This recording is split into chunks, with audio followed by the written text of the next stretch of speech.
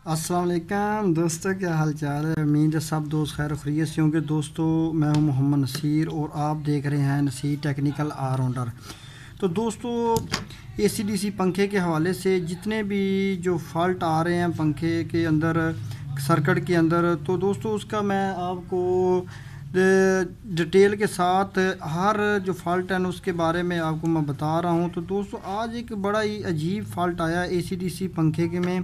तो दोस्त, शायद इसके बारे में आपने सोचा भी ना होगा कि इस तरह का फॉल्ट यहाँ पर भी आ सकता है। तो दोस्तों बिल्कुल छोटा सा फॉल्ट है, जिसकी वजह से आपका पूरे का पूरा सर्किट जो है ना, उसको डेड कर दिया है। तो पोजीशन इसकी क्या है? जब हम इसको देते हैं ना 220 वोल्ट या 12 वोल्ट तो इसके जो सीरस बल्ब है ना पीछे सीरस बल्ब की पोजीशन इस तरह हो जाती है। आपने इसको गौर से देखना, ठीक है ना? ये अब सर्किट यानी सर्किट में करंट जो है ना, वो बिल्कुल क्रॉस नहीं हो रहा। ठीक है?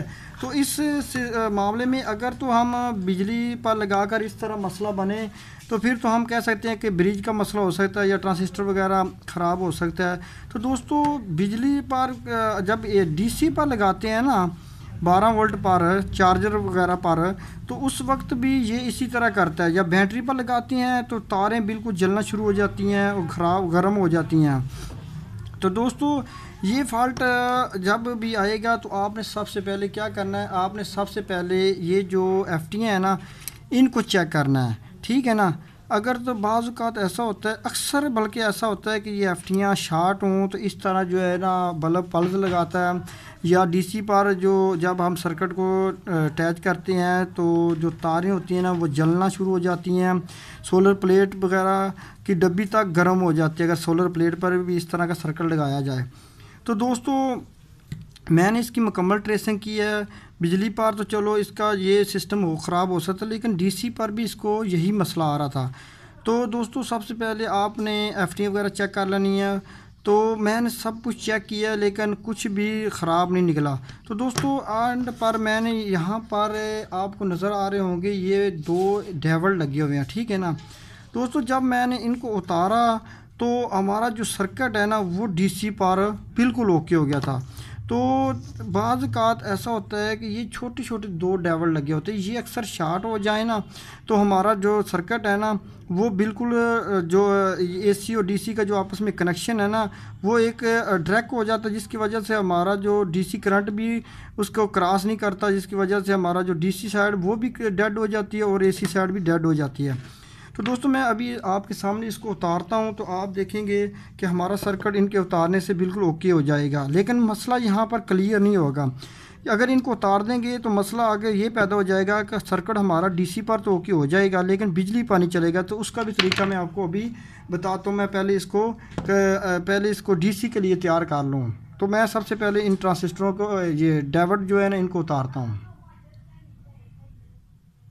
तो आपने दोस्तों इनको हीट गन की मदद से ना इस तरह हीट देकर इसको उतार लेना, ठीक है ना? जब आप इसको उतारेंगे ना तो जो डीसी साइड जो शार्ट हुई है ना, वो बिल्कुल ठीक हो जाएगी, उनकी शार्टिंग ख़त्म हो जाएगी। लेकिन मसला यहाँ पर क्लियर नहीं होगा, मैं अभी मज़ीद आपको आगे बताऊँगा, ठीक है? इस तरह अभी इसको मैंने उतार दिया है तो अब हम इसको लगाते हैं जनाब डीसी पर। तो देखो दोस्तों, इसके उतारने के साथ ही हमारा जो डीसी वाली साइड है ना, वो बिल्कुल ओके हो गई है, ठीक है? तो फिर हम इसको, अगर बिजली पर चलाना है तो उसके लिए हम इसको लहदा तरीके से तैयार करेंगे, ठीक है ना? तो ये देखो, अब सिर्फ़ इनको उतारने से ही हमारा जो है ना डीसी साइड है, बिल्कुल ओके हो गई है। तो दोस्तों, आपने क्या करना है?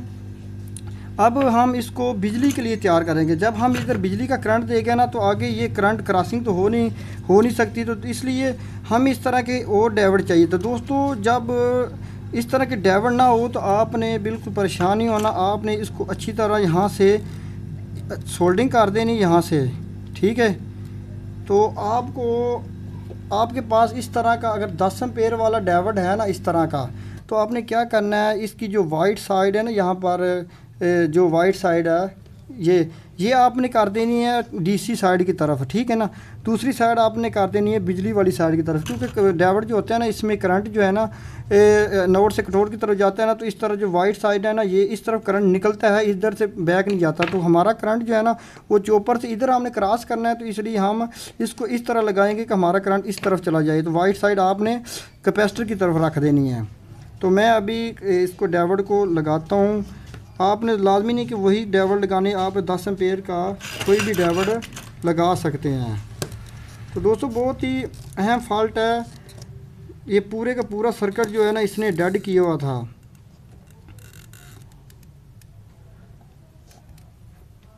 ठीक है? आपने इस तरह जो है ना, इसको लगा देना, ठीक है ना? ये वाइट साइड कैपेसिटी की तरफ़ कर देनी है। तो इस तरह जो हमारा सर्किट है ना, अब बिजली पर भी बेहतरीन काम करेगा। ठीक है? तो दोस्तों, ये बिल्कुल छोटा सा फॉल्ट था। ये छोटे छोटे ड्राइवर थे। इसकी वजह से हमारा पूरा सर्किट डेड हुआ था। ठीक है ना? तो आपने इनको उतार देना। अगर आपने डीसी पर चलाना है तो बस ठीक है, आपने उतार देना और उस पर डीसी के डीसी के लिए आपका पंखा सर्किट बिल्कुल ओके हो जाएगा। अगर आपने बिजली पर चलाना है तो फिर आपको इस तरह का दस एम्पेयर का कोई ना कोई एक डाइवर लगा देंगे तो आपका सर्किट बिल्कुल ओके चलेगा। तो दोस्तों, ये बिल्कुल ही बारीक का फॉल्ट था। तमाम चीज़ें ओके आ रही थी, लेकिन इसमें मसला आ रहा था तो इस तरह सर्किट जो बिल्कुल डेड हो जाता तो दोस्तों, आपने ये ख्याल रखना है कि इस तरह के छोटे छोटे फॉल्ट हैं इनको नोट करते जाना। मैं इंशाल्लाह मज़ीद आपको नेक्स्ट छोटे छोटे जो भी फॉल्ट आएँगे, उसके बारे में आपको मालूम देता जाऊँगा। तो हमारे चैनल को ज़रूर सब्सक्राइब कर लो, क्योंकि मैं आपके लिए यही सिस्टम जो है ना, ये सिलसिला जारी रखूँगा। तो इसके साथ ही मुझे दीजिए इजाज़त। अल्लाह हाफ़